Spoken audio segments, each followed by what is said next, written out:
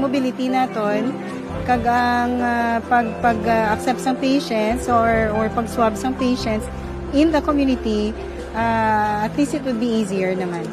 So this is the first time nga malakat na siya. Yes po, ah, Virgin Voyage. We also go to a health health facilities no nga may mga frontliners kita kay ah, these are one of the priorities man sang DOH to test ang aton health priority, ang aton health workers or ang frontline workers naton sa sa health facilities kay ang chances of them being carrier so dagko gid so kinanglan ah, matagaan taman sila priority. We go to dialysis clinics na ah, pero actually depende naman na upon their request naman. It's for free kay iyan siya sa government man nga nga project is ang City of Bacolod.